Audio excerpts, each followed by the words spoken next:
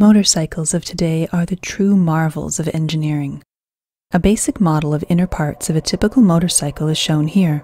In this video, we will explain the basic function of each of these parts in a motorcycle. Let's begin from how a motorcycle engine starts. All motorcycles have either a kickstarter or a self-starter or both. A kickstarter mechanism is simple yet interesting. As the kickstarter lever is descended, a helical spline forces the gear to slide and engage with a freewheeling gear on the main shaft. As the lever is descended further, the gear spins on its axis and transfers the power to the clutch hub. The clutch hub transfers the power to the crankshaft and eventually to the engine. In a self starter system, a battery powered motor provides initial spin to the engine.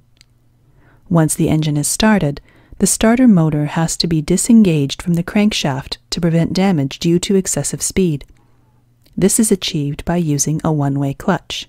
The model shown here is of a roller type one-way clutch. It has an outer race and an inner race with small rollers.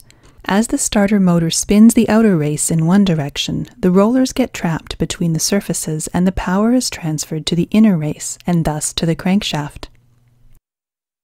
Once the inner race starts spinning faster than the outer race, the rollers get released, causing the inner race to spin freely. Like every four stroke gasoline engine, motorcycle engines require a source of ignition to ignite the air fuel mixture for power strokes. A spark plug is used for this purpose. The spark plug requires voltage in excess of 20,000 volts to fire properly. In this particular model, the voltage is obtained from the stator of the motorcycle, although a 12 volt battery may be used for the same purpose. The stator is a stationary coil of wires. The flywheel of the motorcycle has a set of permanent magnets which revolves around the stator and produces alternating current in the coils. Each output from the stator has different purposes, as shown here. The output for the ignition purpose is received from the exciter coil. This coil has a denser winding of thinner wire than the other coils to produce higher voltage for the ignition. This voltage is supplied to an electrical component known as the capacitive discharge ignition, or CDI unit.